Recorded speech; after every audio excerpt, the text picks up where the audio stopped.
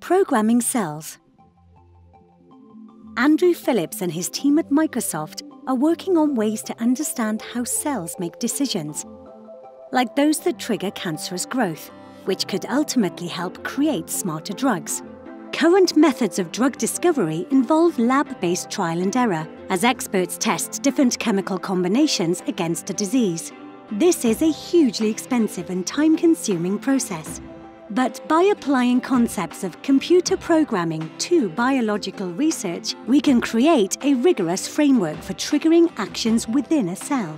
Eventually, a programming language could be created that models the relationship between biological components and could be used to control the way a cell behaves.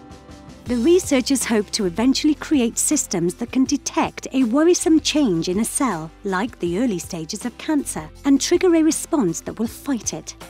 The complexity of cells and their ability to process information has a lot in common with computers.